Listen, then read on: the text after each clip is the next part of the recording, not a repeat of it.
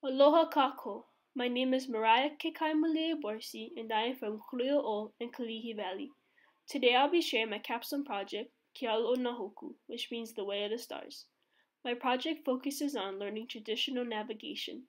Throughout this capstone journey, I spent a lot of time observing, listening, and being present, which strengthened my understanding and connection to the place and elements around me. My grandpa, James Chizuru, is the reason why I'm so passionate about the canoe. Last year, I took the same class, but did my project on my grandpa and his time with Hokulea. He was first introduced to Hokulea through Uncle Nainoa. After Hokulea's first voyage in 1976, she was left unattended to in the mangroves of Kaneohe, in which over time caused her host to wither. Uncle Nainoa knew that Hokulea should be sailing all over the Pacific instead of rotting in the mangroves. To fulfill his visions, Uncle Nainoa needed people to come help restore her. Without any knowledge or background of building a canoe, Uncle Nainoa asked my grandpa to come volunteer and restore Hokulea. He was coming around occasionally to help, but soon he took on a job of working there full time around 1983. After two years, Hokulea was ready for her voyage. My grandpa sat on two legs, with the first being from Mililii to Tahiti and the second being from Rarotonga Cook Island to Waitangi, New Zealand. My passion for the canoe started because of my grandpa and grew as I learned and experienced more on the water. My grandpa loves talking about his time and memories with Hokulea and the crew. When I was picking classes for junior year, I knew I needed to take this one because I wanted to make memories and be impacted by the canoe, like my grandpa did. During these past two years with Auntie Pua, I did just that. It's been a full circle. My grandpa sailed with Uncle Shorty, and here I am learning from him. Every time I tell that to my grandpa, he always says, Tell him I love him. His love for the canoe made my love for the canoe. If it wasn't for him and his story, I wouldn't have found mine. My story with the canoe starts with navigation. Ever since Auntie Pua first introduced the Pafu and Kukuokoleni during junior year, I was very interested in navigation. This opportunity of learning a glimpse of the art and science of traditional wayfinding is a unique experience that allows me to deepen my connection with my culture and place around me. The most interesting thing to me in the art of wayfinding is using the same celestial bodies to guide us from one place to another, just like our ancestors.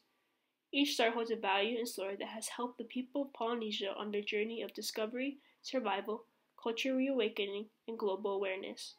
Most importantly, navigation has made me grounded. Observation of place and the elements have strengthened my connection to my culture and who I am. Everyone in the Migrations of Moana Nui Akea capstone class had an individual project that was preparation for our group capstone, which was a three day voyage. To reach our goal of a three day voyage, we trained on Makali'i throughout the year. My original individual capstone project was to study navigation and use that knowledge to further on the success of our mini voyage. I had to study Kukuokoleni, constellations, and the Pafu. Papa Mau, who was from Satawal, taught his knowledge of navigation to the people of Hawaii, including the Pafu. The Pafu is the Saroani star compass. Unlike other compasses, the Pafu is orientated east to west. This is because Satawal doesn't have enough fish to sustain the people, so they have to voyage east to a neighbor island to get food. They voyage because it is a way of survival. The compass has 32 points, but actually only 16 stars, because if you draw a line from north to south, they are just mirror reflections of each other. The only difference is that one side is rising and the other is setting. Papa calls the rising Tan and the setting Tupua. Here are the points on the Pafu, starting with Tan Early Tan Early Tan Setapu, Tan Tumor, Tan Masario, Tan Lube, Mashimas, Willy Willy Lube, Mashimaleto, Tupu Lube, Tupu Masadio, Tupu Tumor, Tupu Statapu, Tupu Earliern, Tupu Payer, Tupu My Lap, Tupu Payafang, Tupu Ul, Tupu Marigat, Tupu Mern, Tupu Iglig, Tupu Weiler, Tupu Malipalifang, Willy Willy Fish Muggy, Tan Malipalifang, Tan Weiler, Tan Igalig, Tan Mern, Tan Marigat, Tan Ul, Tan Payafang, Tan Mylap, Tan Payer, Tan Earlier. Here are the stars on the Pafu, but in Hawaiian. Ke ku'u ku'u, me'e, lehuakona, kamaka, these five points are one constellation called Neve. Kamaka, Le Huakona, Me'e, Ke Ku'uku'u. These three points are Humuma, Kapuahi, Makali'i, Ke Oia, Iwa Nahiku, Holopuni, Kumau, Holopuni, Nahiku, Iwa Keli'i, Ke Oia, Makali'i, Kapuahi, Humuma, Ke Ku'uku'u. Also, as I was studying the sky, I always had a hard time finding Kuma, the North Star. I made two tools to not only help me, but also my classmates. As you can see, I indicated other constellations called northern pointers to help me pinpoint Kuma. After I got the compasses and stars down, my next step was to apply all that I learned on the canoe. Pre COVID 19, my class was committed to one week of training for a three day voyage. During that week, we were supposed to have a night sail, in which Auntie Pua would have taught me things that just can't be taught in a classroom. Sadly, we weren't able to do that due to COVID. Although that was a real bummer, that didn't stop me from learning more about navigation. To further on my learnings during this time, I have been watching sunset and the stars every day. With the road being at a stop, I have a wonderful opportunity to go outside and connect myself to everything around me. This allows me to tune into two important skills as a navigator loneliness and observation. Navigators are the most lonely on a voyage. They have to be in tune to the environment and elements, such as the stars, moon, and swells, to navigate and direct the canoe. They solely rely on their knowledge of navigation. Auntie Pua once told me that as a lonely navigator, you really have to be grounded spiritually. Through consistently watching the sunset and the stars and being in that place, I was able to get a glimpse of what I would have saw and felt on the canoe. To document the sunsets and the star watches, I decided to make a website that included blogs on my journal entry for every sunset. Each blog is different and unique to what I saw and felt that day or in that space. Some days I would write about what I saw, such as the color of the sunsets or the clouds, or it would be of how I felt that day, or sometimes I wouldn't write anything because I just didn't have anything to write. Every sunset opened my eyes to how emotionally, spiritually in tune you have to be with the place and elements around you. But being in that place made me realize how important it is to stop, observe, and just listen. Every day, my brothers and I drove up the mountain to watch the sunset.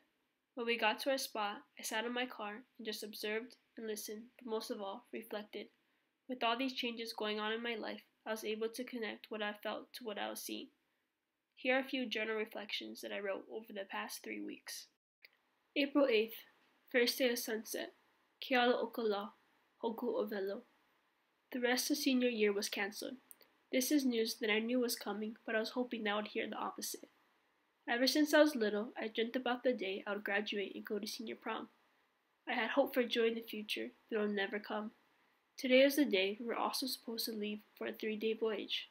It was so reachable and close, but in the end, it was taken away from us last minute. I'm supposed to be watching the sunset in the horizon on the canoe in the middle of the ocean, but instead I'm sitting on my car. As I watch the light disappear, it's as if senior year is disappearing too. But as I face the light, the dark is upon my back. Although this is a really hard time, we need to stop thinking about the negative. The stars are soon going to be visible, which reminds me that beautiful things are on its way. After the sun sets, the moon and stars come alive, and after they all set, the sun rises and gives us light. God is greater than anything we are going through. April 21st, First Star Watch. Ke ala o nā hōkū, Mali o Iki Iki. Since it was overcast at night, I decided to go to sleep and wake up early in the morning to check out the sky. It is 5.30 a.m. The sky is clear. I see Manaiakalani, which is one of my favorite constellations. Right next to it is Mars, Jupiter, Saturn. Before I knew it, the stars started to diminish as the sun was ready to rise. This reminded me of one of my favorite morning star watches. Akane Hunamoku and Kaneohe, Placito, Papa Mau's son, had a star watch with us. Learning from Placito was a once in a lifetime experience and something I will remember forever. In the beginning, it was a bit overcast, and then the clouds slowly started to shift little by little, but we saw so many shooting stars. The only constellation I remember seeing was Manaiakalani, and we also saw Kumau. I really missed that trip, the people, and the canoe. When I first stepped into Kumupua's classroom as a junior, the first thing she asked me was, What is your passion? That question left me dumbfounded because I really didn't know the answer. But little did I know that what she would be teaching and introducing me for the next two years would answer that question. My capstone project is more than a class, but more so a start of a new journey, and this is just the beginning. Mahalo to Nā Kālai Wa'a for giving us the opportunity to be a part of your community and story. You guys have supported us and helped us through our journey. Mahalo to Uncle Shorty and Uncle Chad for giving us their time in Mana'o. Mahalo to Ohu and Uncle Bebe for teaching and helping us on the canoe. I also want to thank Kumuka'ai and Auntie Ray for driving us down so we can be on the canoe. Most of all, I want to mahalo Kumupua for introducing me to the canoe. Your passion for the canoe has fueled my passion for the canoe. You have taught me so many things that I will carry throughout my life, but most of all, you have taught me to stay true to who I am. And lastly, mahalo to my class for making this year a memorable one.